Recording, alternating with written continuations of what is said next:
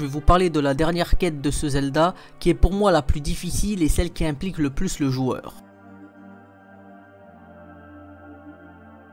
La quête du masque des amoureux. Pour tous ceux qui ont joué à Majora's Mask et qui l'ont faite, vous savez à quel point elle est galère. Et si vous ne connaissez pas, je vais vous faire quand même un petit résumé. Ce qui se passe en gros, c'est qu'il y a, comme je l'avais dit précédemment, il y a un couple qui doit se marier. Anjou qui tient un hôtel et Kafei qui est le fils du maire de la ville. Simplement, Café a disparu. Donc ce qui se passe tout d'abord, c'est qu'on va à la mairie, qu'on va parler à sa mère et qu'elle nous passe un masque puisqu'elle pense qu'on est le détective qu'elle a engagé. Pour mener à bien cette quête, il faut tout simplement, tout d'abord se rendre à 14h à l'auberge. On va discuter avec un jour qui s'approche de nous. Quand on lui parle, elle dit Monsieur Link et comme quoi on aurait réservé une chambre. On n'a pas réservé, mais on prend quand même la clé qu'elle nous donne. Ensuite, on voit le postier et Anjou discute avec lui. Elle reçoit une lettre et elle dit Où avez-vous trouvé cette lettre? Lui, lui dit Dans une boîte aux lettres. Et ce qu'elle dit, c'est non. Dans quelle boîte aux lettres? Et lui, comme il est très terre à terre, il dit Dans une boîte aux lettres. Cette scène m'a fait penser à la blague des deux hommes en montgolfière qui se perdent. Si vous la connaissez pas, je vous conseille de la lire. Et elle nous demande de la rejoindre à 23h30 dans la cuisine. On va discuter avec elle et à minuit du premier jour, donc le début du second jour, on sera à la cuisine avec elle. Quand on lui parle, elle va nous donner une lettre qu'on va poster pour potentiellement pouvoir rencontrer Café. Et elle nous remercie pour l'aide apportée. Une fois qu'on a la lettre, ce qu'on va faire, c'est qu'on va la poster.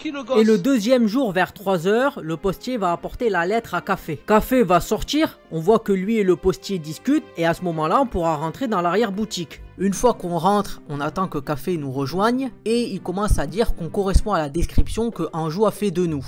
Il nous dit que vu que Anjou nous a fait confiance, il va faire de même. Alors nous, on se dit que c'est du fake, puisque le café qu'on cherche, c'est un adulte, pas un enfant. Et en fait, il nous explique qu'il a été maudit par Skull Kid. Mais que c'est pas pour ça qu'il se cache, c'est parce qu'en fait, quand il a voulu aller voir la grande fée au nord pour pouvoir être aidé, eh bien, il s'est fait voler le masque par un voleur.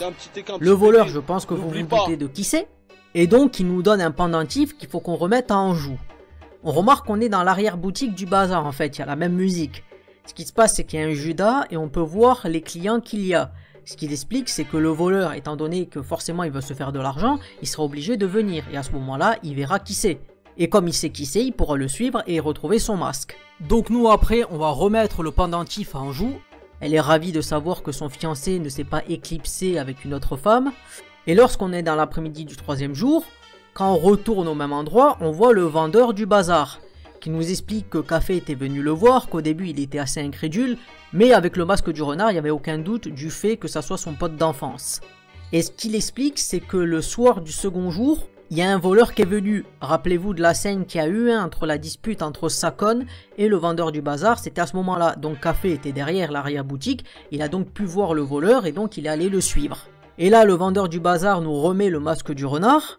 Mais il nous donne également une lettre que Café veut qu'on donne à sa mère. Et à partir de là, en fait, il y a plusieurs embranchements. Soit on peut aller directement voir Café, soit on peut aller voir le facteur pour lui remettre la lettre, soit on peut directement aller voir la mère de Café et lui remettre la lettre. Mais comme là je traite uniquement de la quête du masque des amoureux, je ne parlerai que de la partie avec Café. On est à la vallée Ikana avec Café, faut qu'on attende le retour de sa code. Il arrive à 19h du soir et il n'y a que lui qui peut ouvrir son repère. Une fois qu'on a le repère, eh bien Café, cette espèce de con, a marché sur l'interrupteur? Il a activé le tapis roulant où il y a le masque. Donc si on fait rien, eh bien le voleur va partir avec. Il y a un tandem qui se fait entre Café et Link, c'est-à-dire que Café rentre dans une salle, il doit appuyer sur un interrupteur pour faire en sorte d'ouvrir l'autre porte où va se rendre Link. Link va tuer les ennemis, ça ouvrira une porte qui bloque Café et ainsi de suite jusqu'à qu'on puisse arriver à la dernière salle, appuyer sur l'interrupteur, fermer la trappe et faire en sorte que le voleur ne puisse pas prendre le masque du soleil. Une fois que ça c'est fait, Café récupère le masque et il va tenter de tenir sa promesse. Alors on peut avoir quelques doutes, mais finalement il arrive à la tenir et tout se passe bien. Les amants sont enfin réunis, ils vécurent heureux et ils eurent beaucoup d'enfants à tel point que c'est chiant de devoir s'en occuper. Alors pourquoi j'ai aimé cette quête? Déjà parce qu'en première approximation, Café et Link, on pourrait dire que c'est l'antithèse l'un de l'autre. Link, c'est quelqu'un de solitaire, qui a pas d'amis, qui est tout seul. Café, c'est le fils du maire, donc il y a quelques connexions. Il est en place, il va se marier, il a des amis. Donc tous les opposeraient. Ensuite, Café se fait maudire par Skull Kid, et il devient un gosse. Et c'est là qu'on se rend compte qu'il y a beaucoup de points communs entre les deux. Ils savent ce qu'est la solitude. Café avec son masque de renard pour éviter qu'on le voit sous cette apparence ridicule. Et Link, qui certes ne porte pas de masque, mais dont son apparence enfantine ne reflète pas le vécu et l'expérience qu'il a, parce que c'est le héros du temps. Il est revenu en enfance grâce à l'ocarina, mais son innocence il a perdu, puisqu'il a dû faire les temples, il a dû grandir en fonction des épreuves qu'il avait, il n'avait pas le choix tout simplement. Et Café, ben, il a son expérience, son vécu, et sa forme enfantine ne laisse rien présager de tout ça. Ensuite, la quête en elle-même. Elle demande de l'investissement du joueur. Pourquoi? C'est facile de rater des rendez-vous. C'est facile d'oublier de mettre le masque de pierre pour être invisible ou de bien se cacher au moment où il faut rejoindre Café parce que si le voleur te voit, il ouvrira pas sa grotte et tu devras tout recommencer depuis le début. Le fait que quand on est dans le repère de Sakon, eh bien on puisse manipuler Café, chose qui n'a jamais été faite dans un Zelda. Alors certes, il y a le chant du marionnettiste dans Wind Waker, mais là c'est pour les nécessités de la quête. On manipule pas vraiment un personnage sans conditions réelles. Et ça c'est dû au fait que c'est des miroirs l'un de l'autre. Link et Café se comprennent implicitement. Donc c'est pour ça qu'à mon avis on peut le faire jouer. Et c'est ça qui est vraiment exceptionnel dans cette quête. Le fait que quand vous avez récupéré le masque, il reste 6 minutes avant que Termina soit détruite. Donc là vous pourrez vous dire bon ça y est, il est pas allé la voir, on va sauvegarder quelque part qu'il aille se faire foutre. Mais non, on croit en lui, on va voir Anjou et elle aussi elle croit en lui. Que Café il était parti avec Rémia, qu'il avait abandonné et qu'il reviendra pas, mais elle elle a cru.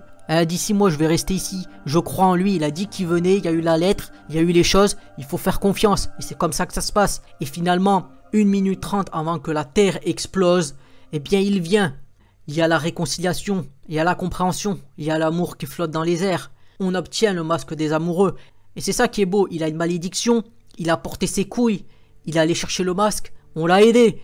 Mais quand même il a fait les choses, il est venu, il a combattu, et il est revenu avec sa bien-aimée et ça c'est joli. Et c'est vrai que pour Link c'est triste parce que lui il peut s'appuyer sur personne. Café il avait quand même son pote le vendeur du bazar qui a pu l'aider. Là je vous ai parlé du côté positif de la quête, c'est-à-dire du fait que les amants soient réconciliés, qu'ils vont enfin pouvoir se marier après tout le malheur qu'ils ont vécu. Mais le bonheur des uns faisant le malheur des autres, eh bien il faut se rappeler que pour que Café voit le voleur dans le commerce du vendeur du bazar, il faut forcément qu'il ait volé le sac de bombes. Donc que la vieille se fasse agresser, qu'elle se fasse voler son bien, et qu'elle ne puisse pas réaliser son rêve d'enfin pouvoir vendre des gros sacs de bombes. Et c'est ça qui participe au côté malsain, c'est-à-dire que dans la temporalité actuelle, il y a des choix à faire, et l'un ne va pas sans l'autre.